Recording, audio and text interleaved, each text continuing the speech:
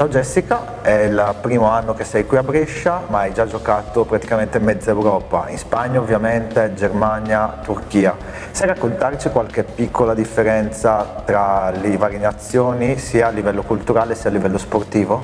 Allora, a livello culturale è, ogni paese è diverso, però quello che mi ha colpito di più è la Turchia per cominciare che pregavano alle 5 di mattino, lo sentivo dall'altoparlante in strada, questa cosa mi ha scioccato un po'. Poi il cibo ovviamente è diverso e la gente. Sportivamente sono molto diversi, soprattutto in Italia perché la pallavolo si vive in un'altra maniera, è come il calcio diciamo in Spagna, okay. no?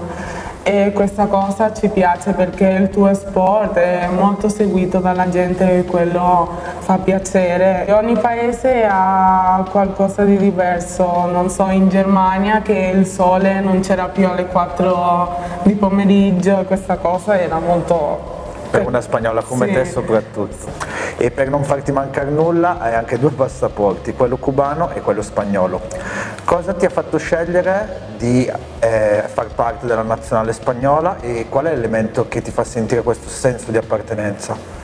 Allora, io mi sono trasferita in Spagna quando avevo 4 anni, quindi ero piccola e non giocavo a pallavolo. Ho cominciato a giocare con la nazionale juniores quando avevo 12 anni, quindi non ci avevo neanche pensato a giocare con Cuba e ho avuto delle esperienze bellissime io praticamente sono spagnola perché sono cresciuta là, quindi io mi sento proprio spagnola. E come vivi l'impegno sia in nazionale sia con la Serie A, questo doppio impegno, come lo vivi? È molto duro perché non c'è tempo praticamente per nulla, non c'è tempo per vedere la tua famiglia, amici e la vita che ho scelto ovviamente arriverà a un punto che psicologicamente e fisicamente sarò molto stanca però ora sono in un periodo che voglio vivere questa esperienza al 100% e stare con la nazionale al 100%.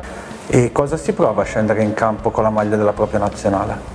È una cosa bellissima perché durante l'anno si lavora con la società, la chiamata della nazionale è un bonus di tutto quel lavoro che hai fatto durante l'anno anche perché si gioca contro le migliori di ogni paese, quindi il livello molto alto, si può imparare tantissimo di ogni partita con la nazionale. E poi giocare un europeo, un mondiale, le Olimpiadi è un'esperienza unica e bellissima.